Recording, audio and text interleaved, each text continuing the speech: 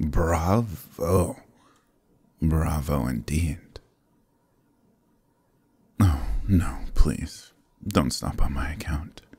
I was rather enjoying myself. Your voice is like nothing I've heard in centuries. As soft and as rich as the deepening twilight. Forgive you for what, darling? Didn't I just say I was enjoying myself?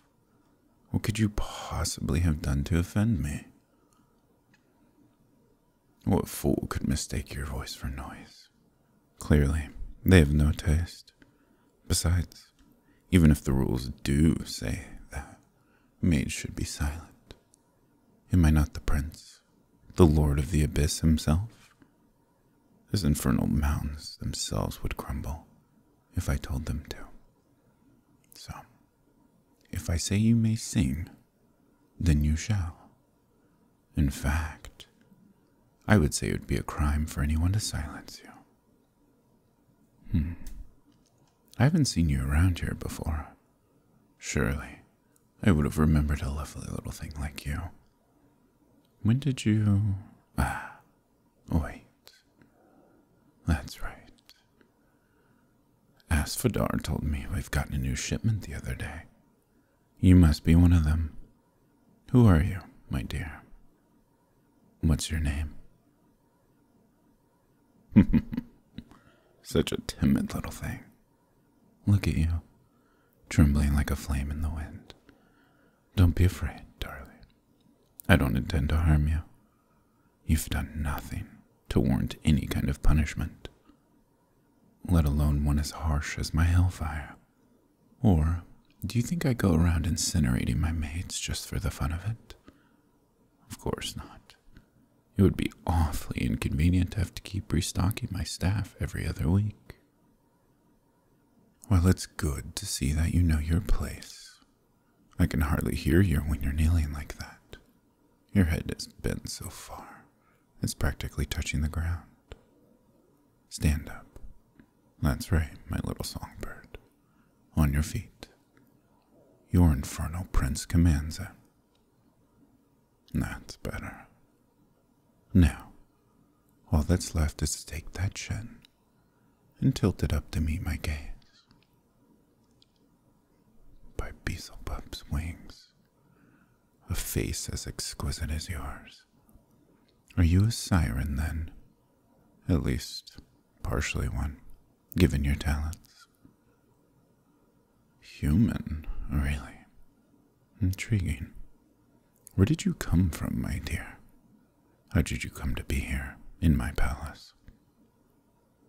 I see. So, you were stolen from the mortal realm during a raid. They brought you here to Silsoren and sold you to the palace. What do you do here? Ah, but if you usually work in the kitchens, what are you doing out here on the terrace? Ah, of course. Hence the scrub brush and the bucket of soapy water. This isn't one of your regular chores, then. In that case, I suppose I'm quite fortunate that I chose this time and place to take a break. oh, long enough. Three or four songs, perhaps? Look at those cheeks, glowing like burning coals. Hmm, they're even warm to the touch. Just when I thought you couldn't get any more radiant, you're making it harder and harder for me to keep my composure. Hmm, I heard that little gasp. What's the matter, darling? Does my touch burn you? I've been told it's like a brush with an open flame. Or is it perhaps the feel of my obsidian claws, as sharp as a razor? Don't be afraid, darling. True, they could easily slice through anything, be it metal, rock, or bone. But as I've said, you have nothing to fear from me. Or, if it's none of that, then perhaps it's just the honor of having the Prince of the Abyss himself caress you. Is that it? Well, I suppose that depends. What is it you wish to ask me? Hmm? My favorite of your songs. You'd really ask me to choose between them. Well, I quite enjoyed the ballad of the Dryad and her lover, the water nymph. If only he'd lived. Fate is an unforgiving harlot, but at least the Dryad was granted the mercy of staying beside him for all eternity, becoming a tree on the bank of his pond. If I remember correctly, it was called a weeping willow. Is that right? Yes, beautiful indeed. Your mortal stories are quite different from ours. Our abyssal tales are largely about conquest, subjugating the weak, teaching mortals their place. It's refreshing to hear a story that isn't about a battle or a war. However, to answer your question, I think my favorite was the one about the maiden and the owlbear. The way she took pity on that poor creature, setting her own fear aside in order to pluck the thorn from its paw. I admit, it was somewhat cliche that the creature ended up being a prince in disguise. But even a demon like myself can appreciate a happy ending. Her kindness reminds me of you. You're humble. On top of everything else, a voice more alluring than a siren, beauty rival Lilith herself, and a tenderness that's withstood even the cruelest blows of fate. And yet, you work in the kitchens. Well, no, that won't do, will it? Oh no, my little bird. Put that brush down. You won't be scrubbing anything else today. Or ever again, in fact. You, take my little bird to the east wing. Give them a room of their own, some new clothes, and a full access to the baths. They are to have all the privileges of the harem afforded to them, and if anyone dares to argue, let them be flogged. That's right, my dear. You are no longer a mere kitchen maid. As of now, you are part of my harem. Never again will these beautiful hands be split and chapped from harsh soap and scrubbing. Instead, you'll spend your days reclining on silken couches. You'll be given fresh food, warm baths, private gardens to walk in. You can sing to your heart's content without fear.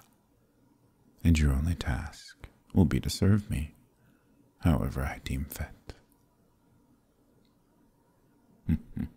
oh, yes.